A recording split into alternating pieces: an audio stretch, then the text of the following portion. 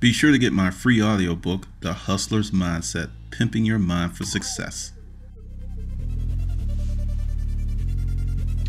All right. I got another one of those comments that just caught me at a time when I had time to reflect. Lord, Lord, Lord, Lord. I don't know what it is. I don't fully understand it. But there seems to be two Americas. Two. Maybe three, maybe four, maybe five. Black America, white America, Asian America, Hispanic America. For me, there's one America. You know, America, United States of America, that's it. I'm getting more and more attention on this channel. It's growing. And I'm getting more nut jobs. If you are a black person, or if you choose to call yourself African American, whatever makes you feel comfortable, and you come to this channel with uh, bullshit comments, they'll be deleted and I'll move the fuck on. Like, this is the thing. America is a place of systems. And there are some black people who feel that due to this, they can't be successful. And it's like, this just gets in the way. I walk in the room, I'm fucked. And if that's your thought process, then that's exactly what you are. Fucked. Fucked beyond belief. Because I keep hearing stuff and I keep seeing stuff and I'm just like every time there's some major crime thing like the guy in Tulsa, Oklahoma that pretty much committed a premeditated felony assault and there's like oh, oh no the system's screwed no he was a dumbass the whole deal and the reason I'm doing this rant is if you're a black person and you want to start a business in America you can if you're a black person and or African American. I stop. I didn't go with that because my name's Glendon. That's what you can call me. My name is Glendon. This whole mythology, because essentially, if you were born in America after 1930, 40, 50, you're a mutt you're not full bred whatever. I mean you're a mutt. Most people are mutts. They're just an agglomeration of all different kind of cultures. And when you do the dna test it's like whoa wait a minute. I look this but this is what's on the inside. And it's a useless useless useless conversation. But i say this to progressive black people who are not caught up in the bullshit of well since you're black you need to learn these lessons. Maybe just maybe perhaps you need to learn how the system that we currently are in operates. Because every time I see someone on Facebook, other than the Trayvon Martin and a few other ones where essentially kid was doing nothing. He got gunned down by an overzealous racist in my opinion. When you look under the hood, there's usually some other stuff clunking. And there's this whole thing of us against them and I teach people how to think and I teach people how to make money as a living and I talk to a lot of people around the world. People are people. People are people. And this whole notion that the white race is planning the demise of the black race is ludicrous. And I'm going to give you some stuff. Just just hear me out. The numbers. The United States of America has 310 million people. Out of that 310 million, 230 are white. 40 million plus are black. Just the sheer numbers, if that was the plan, shit would have happened a long time ago. The average American doesn't give two shits about what's not in their own backyard. That's reality. that's that's reality. Average American does not give two shits. You know, an event happens, or you know, they send some money to some little kids in Africa, or you know, 9/11 and people come together as we should. But the reality is, day to day, it's just like what's going on with me is the most pressing thing in most Americans, whether you're black, white, green, purple, or a Martian on here on a uh, Gal Gal was it a universal visa or something shit like that. People are not planning or attacking. The reality is, many people, white, black, Hispanic, even Asian, are under financial assault because the system is changing faster than many people can keep up with it. And there are people who five years ago had great jobs, great careers. Now they find themselves working at Starbucks or Walmart or Home Depot or Lowe's because that's the only damn job that they can find. Black, white, green, purple. I have a friend who was a victim of overt sexual harassment. For the sake of this conversation, she's black. The for the sake of this conversation, the guy who committed the harassment and it was overt and it was he left evidence was white. And she was like, well, what are they to do? I was like, he's getting fired. I told her from the minute she told me the story, I was like, he's to get fired. Two and a half weeks later, he was gone.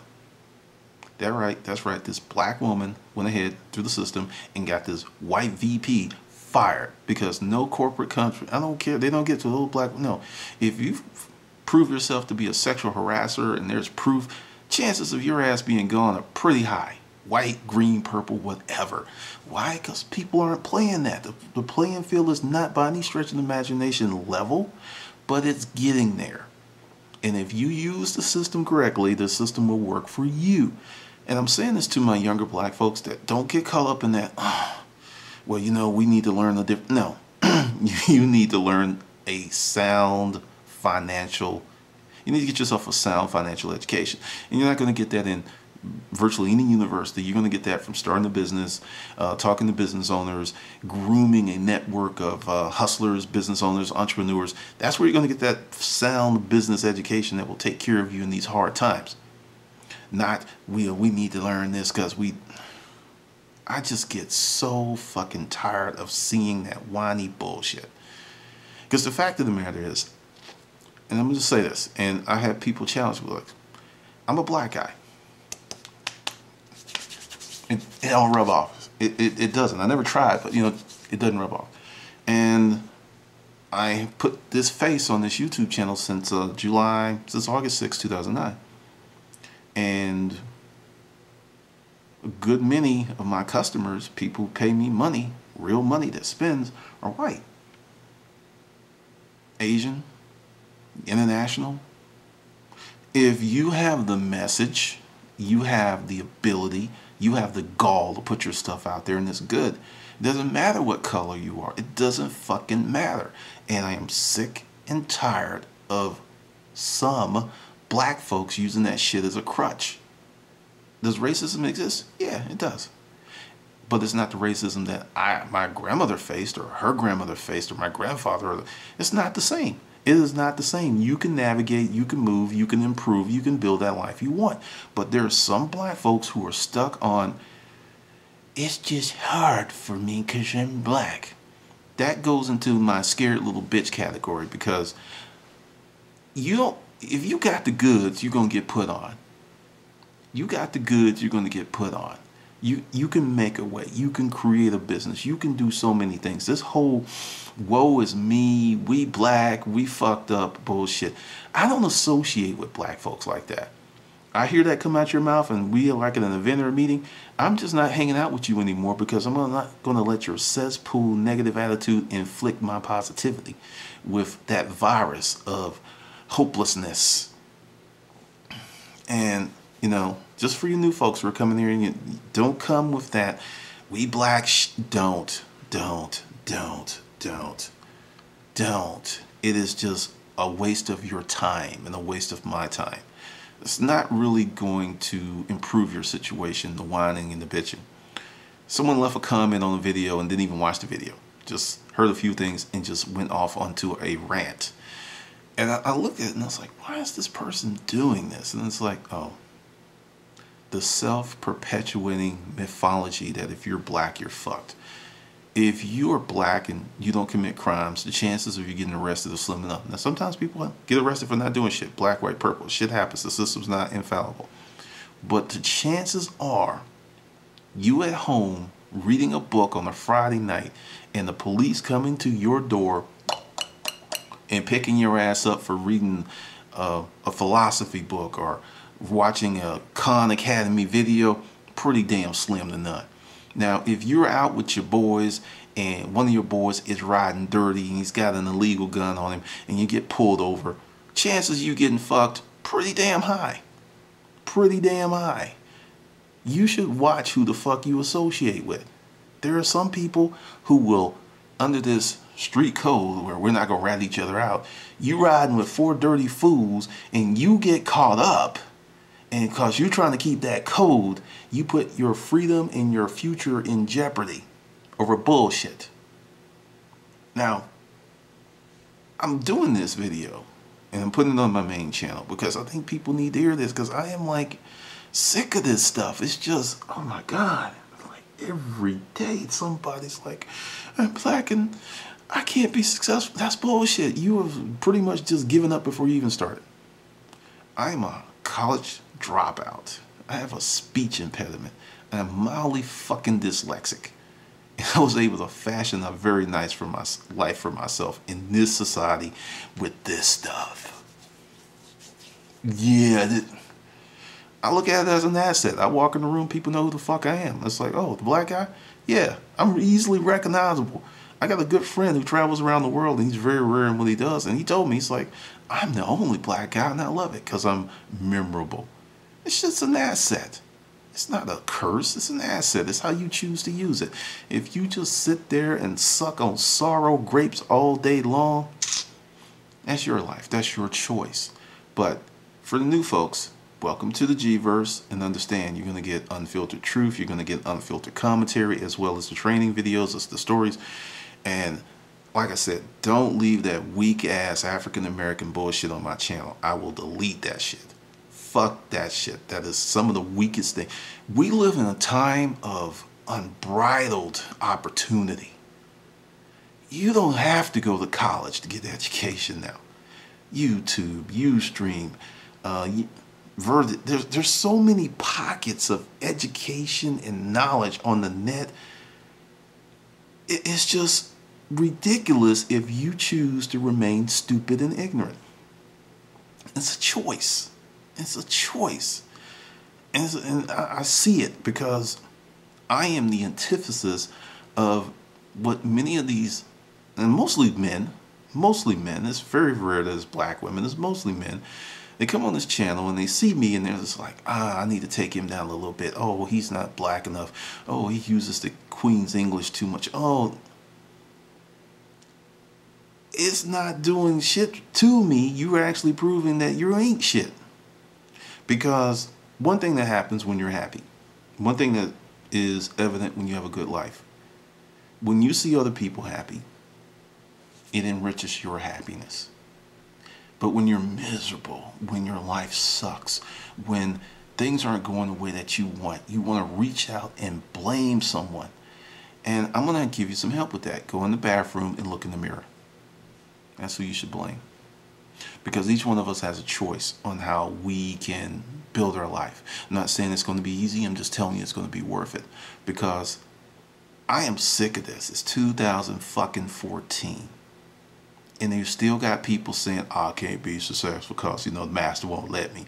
If you were really, really paying attention to current events, a lot of people that you would classify as master are catching hell themselves you know, it, it just cracks me up. It's like if you don't have Asian friends, white friends, and you go to like a wedding, you get to know people intimately, go to their home for birthday parties. You understand people are people, and a lot of people, regardless of this, are catching hell because these are some rough times for the uneducated and uninitiated people.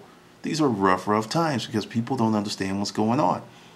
It's not a black thing or a white thing. It's a system thing. And if you are not hip to what the system's going to do to you, aka the big penis in the sky, you're going to get fucked. I went to traffic court um, almost this time last year because they instituted this new driver database thing and I had some stuff out there that I paid, but it was in the system as unpaid.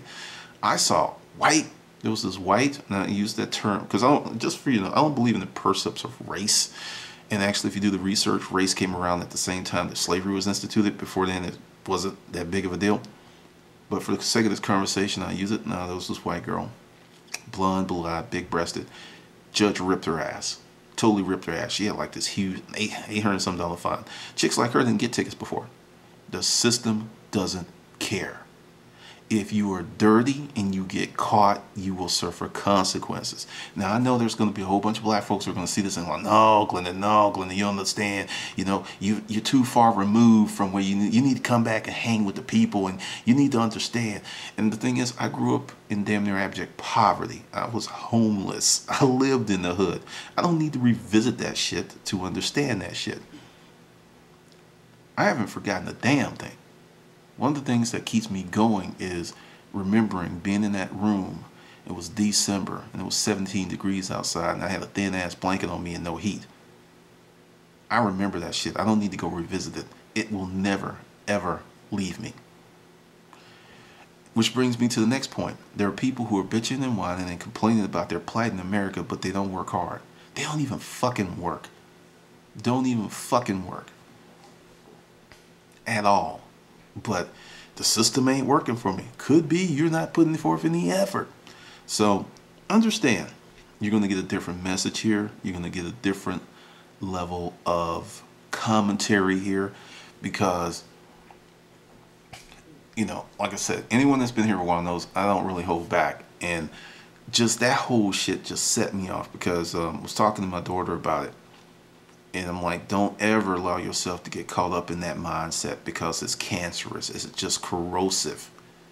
It actually makes you not try as hard as you should. You go out and you think that people are going to judge you a certain way just because of the way you look. So you are actually walking into the room with not a chip on your shoulder, but a mountain on this shoulder and a mountain on this shoulder. I've seen it. People just expecting bad shit to happen and sometimes they make it happen because they bring it in the room with them. And it, it's just, it's unconscionable. It really is unconscionable. Because if you consider yourself a progressive black person in the United States of America, certain mindsets that you may have had when you were younger should be gone, or you should be working on them. Because shit has changed. Shit has changed tremendously and people just refuse to accept it because that means that they must look at the sad, sorry state of their life and accept responsibility for not being where they want to be with or be with who they want to be with because they fucked up. It's easier to blame other people. It's easier to rant, rave, and uh, just go on about the inequities of the system. Well, if you are been in America any length of time, you should understand you are the system. You're part of the system. You keep the system going. Until you break free and start your own system, you're just as much to blame as the system you blame fucking you. Because you have a choice to participate in the system, you have a choice to not participate. And there are many people like, I'm not going to vote. My vote doesn't count. I'm not going to do this. You don't even fucking know the law, you know, the constitutions, the amendments. They have no clue. Yet when those same amendments are changed or create problems for you, then you, it's an injustice when you were asleep at the wheel when the car ran off the road. So, you know, this is pretty much for everyone, but just for folks who we got this same stuff here and come and understand, I think totally different than many black people. I don't hold these thoughts process, and this is something that's come over a long period of time of looking at life, reading books, reading philosophies and observations. I walk forward in this thing called life and feel that I can be successful. Things happen. Have I been racially profiled? Yeah, it happens. Not often. Not often at all. And the thing is, when I started looking for success, I found it. When I was looking for bullshit, I found it. So what you're looking for is typically what you're going to find. So if you're a young black male, hear me and hear me now. You can design a beautiful life for yourself. Read books. Read a lot of books. Make choices of yourself. If you have friends who are doing things that are illegal, part ways. Don't hang out with them. Leave them the fuck alone. Because I understand the drive and the pressure to be cool and to be part of that. But ask yourself this is it worth that high of hanging out with someone for 30 minutes that can cost you 30 years of pain? There are many young black males who are going to jail not because they committed crimes, because they were with someone that committed crimes and refused to say shit. Because you know, somehow putting your own freedom at risk to protect someone you barely know makes a lot of sense to a lot of people. I will call the police on your ass in a heartbeat. Uh, I've done it before, and people like, "Why'd you do that?" You know, it wasn't that simple. Like, yes, it was. yes, it was. I will do that shit in a heartbeat, because the system, you know, it's just this this whole thing with we ain't gonna call the police. We're not gonna go to court. We're not gonna do these things. the system is there to help you. Now, going with my original saying, don't hate the player don't hate the game. Learn the fucking rules so you can win. That plays a heavy role into what's going to happen when you engage in certain things. But do not get caught up in this shit. Do not get caught up in this mindset. Like, I love the fact that most people under 25, if you're a cool dude or you're a cool girl, you're a cool dude. That's it. There's no four or no, that's it. And people my age, I'm 47, are walking around with some old notions, refusing to see that the world has changed massively. It's like more things to, no, it's just, there's certain people I'm still friends with, but I don't really hang out with because they've got that jacked up mentality. Just uh, a lot of people separate themselves based on choice, not force. It's like we're going to live here because we want to live here, not because anyone's forcing us to live here. That redlining stuff used to happen. It was very, very real. It's not real now someone's going to come challenge me on that. Some um, African American scholars going to tell me all this stuff. And to you African American scholars, I got a question for you. What the fuck do you produce for this country? I mean seriously, what the fuck do you create? What the fuck do you produce? What do you make? What do you, what do you contribute versus verbiage? Do you build anything? Do you write any books? Do you educate people? Do you save lives? What do you fuck do you contribute to society? Because I've looked at it, and it's one thing to know your culture and your background. I think that's a beautiful thing to do. But if that's your degree, don't be mad when you don't make any money. that shit, all social programs are under assault. Everything's getting cut, and it's going to get cut again and again and again because there are more and more people who are on the system. I mean, I'm quite sure someone's going to come in and leave one of those comments and another lost brother and so on and so forth. But I'm cool with that because I've gotten that before. The whole deal is, what I'm telling you is, if you want to be successful in America as a black person, you can be. It's a choice. It is none of this other bullshit that people are telling you. Because I want you to think, are you a hero or are you a victim? What are you? Because as long as you're a victim, you're going to keep getting bent over. And it's a damn shame when it's your own hand that's pushing your own neck down. Right? That's the end of this rant. I just had to get it out of my system. The shit was driving me crazy. I was just like, ah, this stuff's got to stop. It's 2014. It really is. All right, this is Glendon, and I'll see you on the good side.